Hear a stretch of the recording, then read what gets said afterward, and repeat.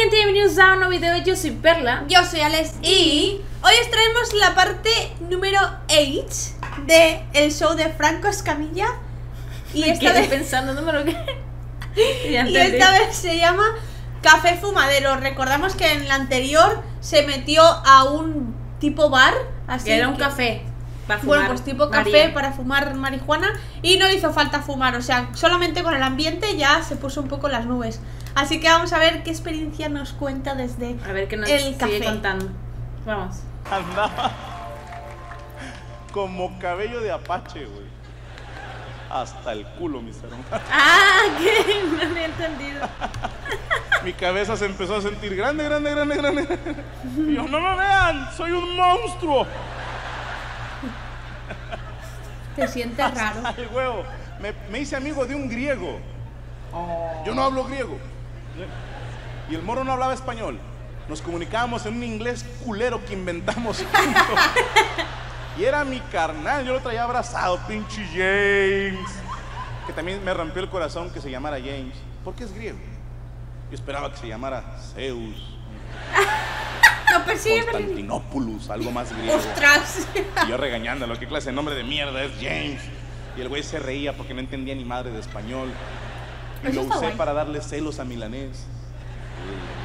Ufa. Yo, Milanés.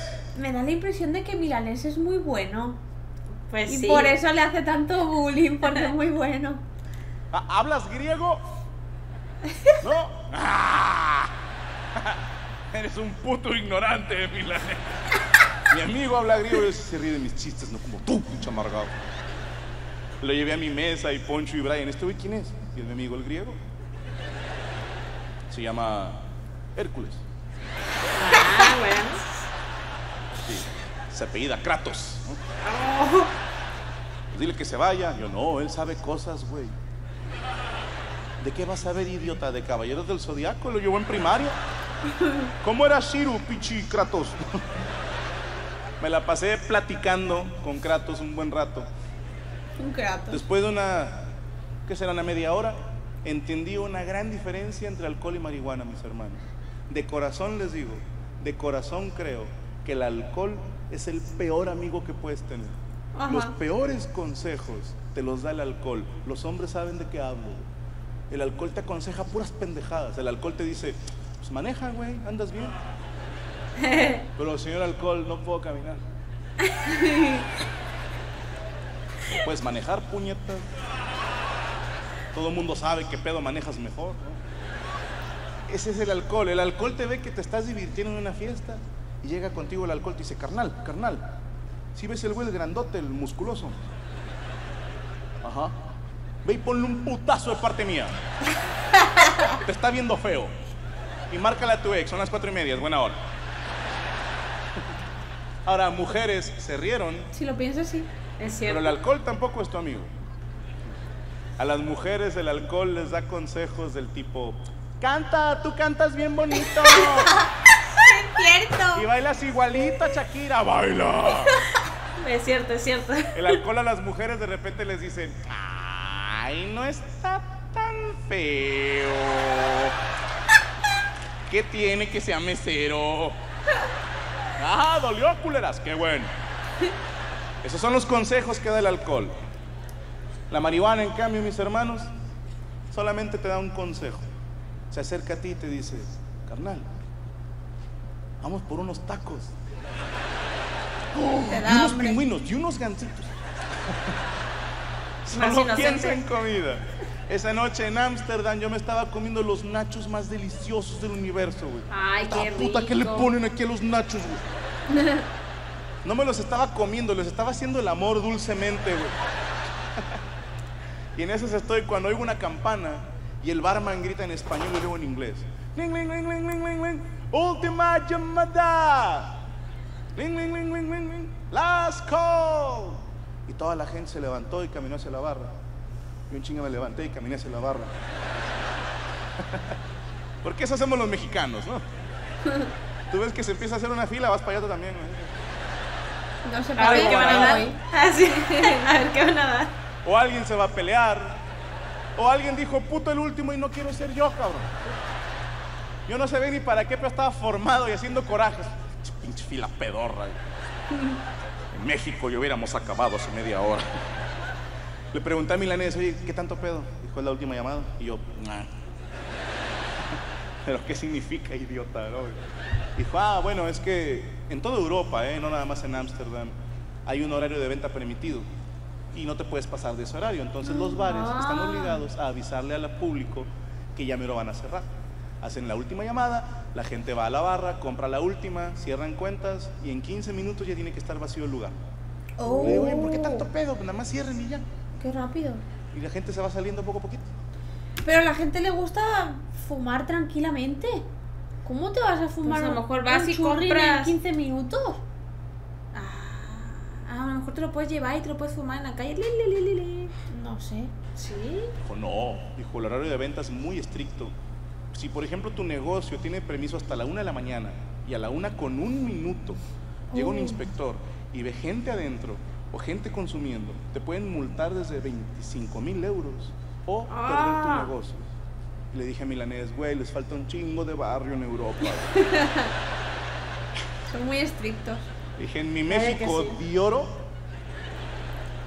también hay un horario de venta permitido y nos lo pasamos por los huevos. No sé si sabían, pero a nivel nacional es 2 de la mañana. Ningún negocio debería estar abierto después de las 2 de la mañana. Y todos, cabrones, todos conocemos mínimo tres lugares. Que si caes a las 4 de la mañana estás hasta el culo de gente y todos con su litro, brinque y brinque para todos lados. Que si llega un inspector y le pregunta al dueño, oye, ¿por qué tanta gente todavía? Es que no se quieren ir, oigan. o Claro, ¿cómo los Pues echas? estamos dizzy, dizzy. ¿Y por qué les estás vendiendo alcohol? No, se las vendí hace dos horas cuando era legal. Claro. dan tragos chiquitos y les dura dos horas. Claro. Ah, y no se les calienta. No, traen termo todos. Ay, sí. Oh, le dan dos mil pesos al inspector y aquí no pasó nada. Allá son más Es cierto. mamones. Prendieron las luces. Dos mil pesitos y vámonos. Eso es algo muy cierto. Es muy Pero cierto. para todo, o sea, Para todo, si para viene todo. un agente de policía y te va a multar, aquí con dinero... o- Vaya eh, el perro. Sí, ¡Uh! o sea, evitas la multa, pero claro, tienes que pagarle al policía para que, pues no sé, se Claro. vaya a unos tacos o lo que quiera él. Pero si le pagas, te evitas problemas con la policía. El volumen de la música. A ver, no con todos. mesa No, por mesa pero la mayoría no. haciendo lo mismo. Me consta porque lo seguí seis meses. No sé por qué nos cayó bien a mí y a Hércules. Y Y a Hércules. a todas las mesas llegamos atrás de él, escuchábamos el mensaje, nos íbamos a la siguiente mesa. Me cayó bien, era un muchachito de unos 25 años de raza negra con la sonrisa más grande que he visto en mi vida. Te caía bien este cabrón nada más de verlo. Y a todas las mesas llegaba muy amable y les decía, Hey guys, I just want to let you know, when that song ends, you guys need to get the fuck out of here. Por si alguno no habla inglés, le traduzco. En español sería, Hey muchachos. ¿No? Con la voz. No sé por qué en español suena más puto, pero bueno. Hey muchachos, solo quiero que sepan que en cuanto se acabe esa canción, se tienen que ir todos en orden, ¿eh? Sí, bueno. Palabras más, palabras menos. Se tiene que Pero el mensaje fue muy claro. Acabando la canción, se van a chingar a su madre. Ajá. Y te digo algo, se acabó la canción y todos se levantaron y salieron en orden. Todos. Opa. Nadie la hizo de pedo. Nadie empezó. "Bú". Ninguna ñora cuarentona que se acabó la fiesta. que- que". Todos a chingar a su madre. Y yo estaba fascinado, mis hermanos. Y le decía a Brian, güey, tenemos que meter este pedo, güey, a México. No para cerrar bares, no voy a escupir para arriba, obviamente. Pero tiene distintos usos. Por ejemplo, cuando un amigo te quiere contar un problema. Sígueme el viaje. Imagínate que estás en tu casa, a punto de ver una película, tocan a la puerta, chunga, abres y es tu mejor amigo. Y como es tu mejor amigo, le dices, ¿qué quieres? Vete, nadie te quiere. Ay, qué malo. Es cierto. Es así, ¿eh? Es Pero en ese momento, tu amigo, en vez de regresarte la madreada, está todo serio y con el gallo para abajo. Te dice, carnal, traigo un problema. Tienes un minuto. Tú, ah, cabrón. Sí, hermano, pásate. Eh, siéntate, ¿quieres algo de tomar? Y pones una canción. Y le dices, brother, solo quiero que sepas que en cuanto se acabe esa canción, te vas a chingar a tu madre y me dejas ver mi película, ¿no? Qué chingón sería con los testigos de Jehová, ¿no? Ufa. Sígueme el viaje. Es más difícil ya. Antes de que le hagan de pedo de que Franco, ¿cómo vas a...? Ahí te va. Yo creo que lo que hacemos actualmente es más grosero. Porque el mexicano ha hecho un deporte nacional. No abrirle a estas pobres almas que no te quieren hacer nada malo, nada más quieren hablar contigo, güey. Pero en Cierto. cuanto los ven afuera, todos contra la pared. chinga. y volteas con tu vieja, ¿no? ¿Sí? Sí.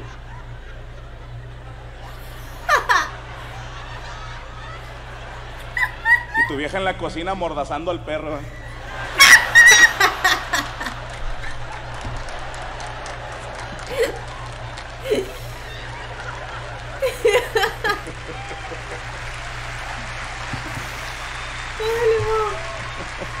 No me tocó vivirlo.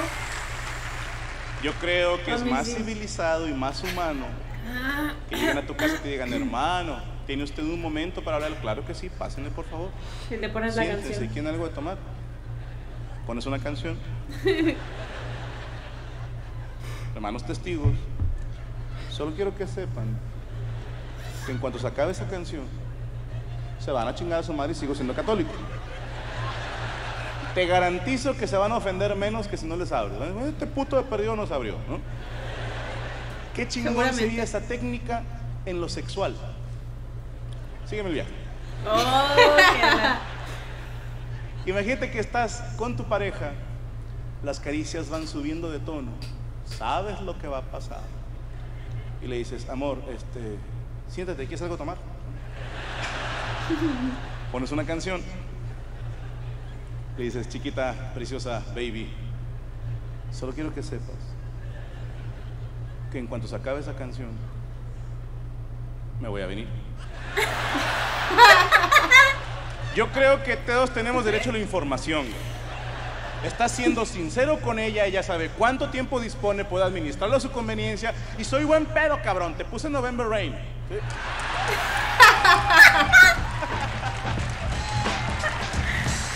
Buena, muy buena. ¿Ya? Sí, pues ya pues. Qué bueno estuvo este también. Ah, lloré. No, quería más. Siempre me Ay. quedo con ganas de más con Franco, oye. Qué buenas anécdotas tiene.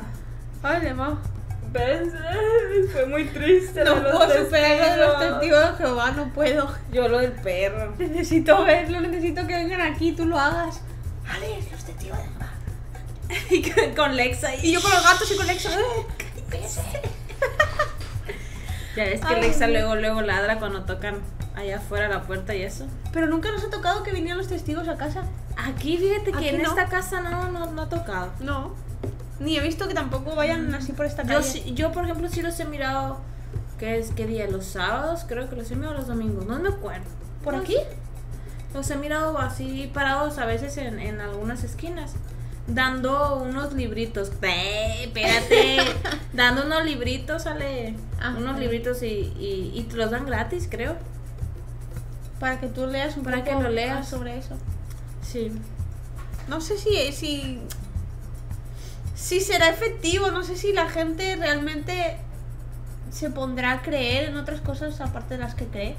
Pues yo... Eso ya es de Es que, cada que si nadie les abre la puerta, ¿cómo Yo- le dan la opción a, a- a que les digan ellos, mira, tengo esto por ofrecerte, cámbiate conmigo? A mí sí me ha tocado abrirles la puerta. Mi mamá me ¿Y? decía, ¿están tocando? Y salía yo. Y luego te decía, ¿Qué "¿Para quieres? abres? No, me decía, ¿qué quieres? Le decía yo ya. No, no es cierto, me decía, ya, ya.